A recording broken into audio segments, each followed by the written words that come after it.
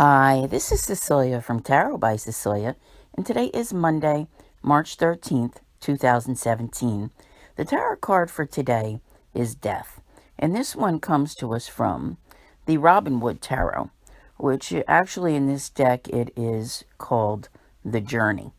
And, you know, I have to tell you, while a lot of times I always say, oh, the Ace of Cups, the Ace of Cups, I love when I see this card come along because it really does bring the change that's often very much needed in one's life. And the timing of this today really couldn't be more perfect. Yesterday was our annual full moon in Virgo. And, you know, it made to some the same, oh, yeah, it's just a full moon, okay, because we had the eclipses last month. But really, no. This is a very powerful month in your timeline, and so many things are happening.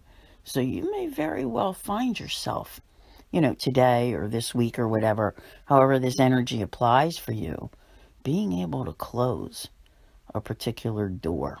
Right? Full moons are about closing things out, letting things go.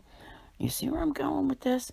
So I'm thinking, you know, not that I already know, but I, I'm thinking that we're going to see, you know, that new beginning coming real soon where where you're going to see the change. So the question probably lies in your particular experiences in your life. Which situation will come to an end? And many times, and I, I try to emphasize this every day, is that so many of you out there become fixated on one thing and one thing only that you forget to look at everything else that's going on in your life. There are other things that you need to deal with as well, besides whether or not some narcissistic, you know, love from the past is going to come back again, mm, because chances are they might, because Venus is retrograde. But honestly, this is more important. Whatever this is about, whatever you have going on in your life, whatever situation needs to end. The opportunity is here to let it go, close that door, and move on. All right? That you know, the death card signifies like closing out a chapter. And you've already known since the Pisces new moon on February 26, which was a solar eclipse, that there was a cycle of your life that was closing out.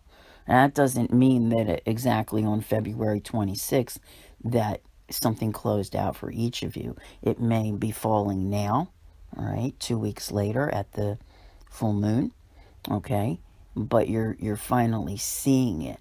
Because one of the things I've been saying to everyone is that by the time you get to the equinox, which is eight days from now, that you're really off on that next three month journey. And I'm honestly amazed at how these things seem to play out because they have a great deal to do with the seasons. I'm not sure if all of this was ever explored enough. I think that historically, you know, centuries ago, people understood the seasons more than we do now. You know, we get so involved in what's going on day to day. This is retrograde, this is conjunct this, that's happening there.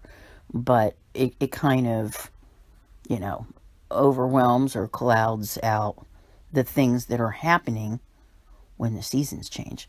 So I'm urging you to pay close attention to that because you're going to notice it. So whatever you're able to bring an end to this week, you're going to see the beginning coming and it's going to be the beginning of a new cycle and you're going to be on your way.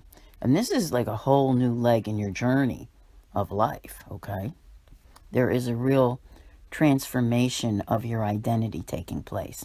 One of the things that I think many, many people say, you know, with all the things you've been through since, say, 2012, and then especially in the last couple years, oh, you know, part of you wants to be who you were.